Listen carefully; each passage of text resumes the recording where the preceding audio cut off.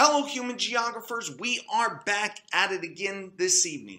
Tonight, we continue the conversation about commodity chains, but expand it to the scope of a global scale.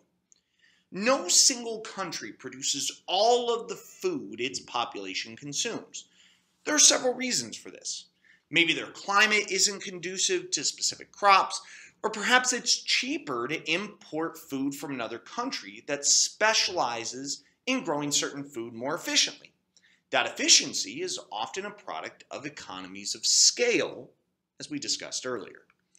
Take a look at the map of exports from the United States.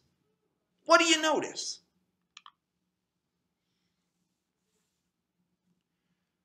Do you see features of economic development associated with our trade partners? Do you notice the influence of distance decay? Are there any other factors that influence who purchases the greatest amount of agricultural goods from the United States? As an example, China has become one of the hottest markets for consuming chicken because there have been considerable growth in the number of people in the middle class in China as economic development there improves. So China has seen tremendous increases in the imports of chickens as a result. Another example to include is that nearly half of all US grown soybeans are exported to countries like China, Mexico, and Europe. So let's look at how this happens and the impact it has. We discussed commodity chains earlier, and the global supply chain is basically a commodity chain, but it's organized at, you guessed it, the global scale, often by transnational agribusinesses. Production and consumption are part of a complex global supply chain. Often crops are grown in peripheral countries and harvested using low cost local labor, which reduces the overall cost. The processing is often done in periphery or semi periphery countries before they're transported for consumption around the world. Let's look at coffee as a bit of a case study. There are multiple steps in the global supply chain for coffee. Coffee was first domesticated in East Africa Today, raw coffee cherries are grown in tropical climates, primarily in Middle and South America, like this plantation in Costa Rica, but also in Southeast Asia and Ethiopia, often on agribusiness owned plantations. Farmers then sell them to a mill where they're processed, like this dry mill in Ethiopia. Then the coffee beans are packaged and exported for consumption. Countries will import the raw coffee beans, and more than half of the coffee that is sold on world markets today is exported to the United States, with much of the rest going to Western Europe. But they still need to be roasted at a roastery before they can be brewed and consumed. Roasteries like this one in New York then sell it to supermarkets, restaurants, and coffee shops, like this one in Las Vegas, Nevada, where they're then sold to consumers who drink it. Now that we've seen how the global supply chain works for coffee, let's take a look at some other examples and processes. Coffee is an example of a luxury crop or non subsistence crops such as tea, cacao, coffee, and tobacco. Luxury crops are crops that are not essential to human survival, but have a high profit margin. These crops are sometimes called cash crops because these export commodities are produced with the intent to export them to wealthier countries. This generates revenue from the sale of these relatively expensive luxury crops. Oftentimes, to generate the most money, farmers will produce an abundance of a single commodity to benefit from economies of scale, reducing their costs while maximizing output to generate the most profit. We see this with cacao in Ghana or Cote d'Ivoire, vanilla in Madagascar, cotton in Mozambique, and tea in Sri Lanka as specific examples. But we also see some broad patterns like bananas, sugar, coffee, and cacao from Middle and South America, rubber, cacao, and tea from West and East Africa, and rubber from Southeast Asia. And as you can see here, it isn't just agriculture that economies can be dependent on. Countries in the Middle East, as well as countries like Russia and Norway, are heavily dependent on revenue from petroleum and gas, or minerals like gold, diamonds, iron ore, or other mining products. But let's look at cacao a little closer. For example, the cocoa bean, which is the fruit of the cacao, is too bitter to be consumed in its raw form. Cocoa represents more than 50% of Cote d'Ivoire's exports. Processing and manufacturing of the plants throughout the world turns the bean into cocoa powder, which is used to make baking chocolate, chocolate bars, and other products. Like coffee, most chocolate products end up in the United States and Europe. Countries like Germany, the UK, Belgium, the Netherlands, and France import large amounts of chocolate, which are then sold to consumers with enough disposable income to buy this luxury. When a country's economy is heavily dependent on a single export cash crop, as Cote d'Ivoire is with cocoa, we call this commodity dependence. The benefits are obvious because countries can reap tremendous profits from the sale of these commodities on the global market. But when they are dependent on a commodity, what happens when people stop buying that commodity? It can be very risky during economic downturns, which the world saw in the 1980s with cocoa. We also see that other countries may attempt to get in on lucrative markets. For example, many islands in the Caribbean were forced to grow sugarcane during the colonial period. In fact, 80 to 90% of the sugar consumed in Western Europe came from the Caribbean. But Brazil and India have emerged as the leading sugarcane producers today. And Caribbean countries struggled as they transitioned to economies that are now dominated by tourism.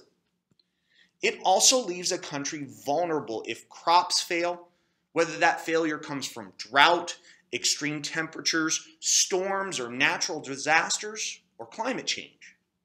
In addition, as countries focus on export commodities, farmland is being used for those luxury crops rather than for food. This can mean food deprivation for the local community or that local food prices may increase and become too expensive, limiting nutritional diversity. In addition, since many of the decisions are coming from international agribusinesses, the best farmland is used for cash crops, while more marginal land or more isolated land is used for local food production. And more land is being cleared for lucrative export commodities Forests are being cut down. Water is overused or polluted. Soil declines in fertility or is eroded as farmers try to extract the highest yield. And in the rainforests of South America, that land doesn't remain productive for long. So cattle ranching, also for export, is increasingly becoming the commodity that countries like Brazil, Argentina, and Uruguay are dependent on. We'll finish up tonight by looking at some of the elements that influence global networks of food distribution. We'll start with the influence of political relationships within and between countries. Governmental decision making can impact the type and quantity of agricultural products and where in the world they go. The legacy of colonialism impacts the types of commodities that countries are still growing. And even though most colonies have gained independence, many former colonies retain trade relationships with their former colonizers. Oftentimes, the former colony typically a periphery country, produces commodities and sell them to the former colonizer, typically a core country. Oftentimes, the process of adding value takes place in the core country, while limited revenue returns to the former colony, which can maintain unequal relationships in what is called neocolonialism. And within the United States, the US subsidy system heavily subsidizes large scale commercial farms who can produce significantly more than the smaller family farmers who have very limited land. And other countries may permit dramatic landscape change to promote agricultural production. Indonesia and Malaysia have seen considerable deforestation as multinational corporations have pushed for larger palm oil plantations. And there are a couple other contemporary relationships that bear keeping an eye on. The implications of Brexit could have major implications on Britain's agricultural supply chain. They import many fruits and vegetables from mainland Europe, which may change with increasing time from the UK's exit from the EU. And trade wars, like the one in 2018 that occurred between the United States and China, can affect both import and export supply chains, leading to changes in cost, available supply, and consumer demand. Infrastructure obviously impacts the ability for agricultural products to move around the world. Infrastructure is the stock of basic facilities and capital equipment needed for the functioning of a country or area. These are the roads, bridges, ports, and telecommunication systems that help to produce, but especially distribute, crops and livestock to global markets. In former colonies, the foundations of infrastructure were not designed to aid the local population, but rather to exploit the natural resources in the colony as they were transported to ports and exported to European countries. In developing countries, they may not have the money to improve bad roads or unreliable electrical systems. This contributes to food insecurity, hunger, and malnutrition.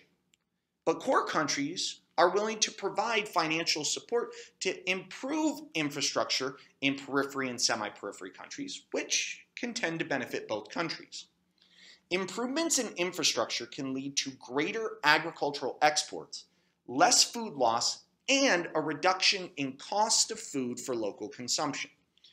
We saw this with the introduction of refrigerated railroad cars and later refrigerated ships that allowed beef and other meat to travel longer distances and reach more consumers. Finally, we will examine some patterns associated with global trade that impacts our agricultural system. Trade in food alone has nearly doubled since 1995. Regional trade agreements like NAFTA previously, or the USMCA currently, or the creation of the European Union have helped to reduce or eliminate taxes on imported goods that can serve as a barrier to trade. Developed countries will tend to export a larger share of the food needs to developing countries and import larger quantities of fruits and vegetables from tropical and subtropical countries. Semi periphery countries like Brazil, China, India, Indonesia, and Russia account for significant growth in the global food trade as their economies have grown. Regional specialization occurs as places produce agricultural products in which they have a comparative advantage in different crops. Comparative advantage leads to a greater diversity of foods and a lower price than if everything was sourced locally. Global trade can help farmers in developing countries earn more money and expand their operations. That expansion, though, can have environmental impacts like consumption of water resources for irrigation as farmers work to produce enough for global markets. We'll continue to examine some of the consequences of agriculture as we move forward. But for now, that's where we'll end our discussion. Have a good evening, everyone, and I'll see you back in class.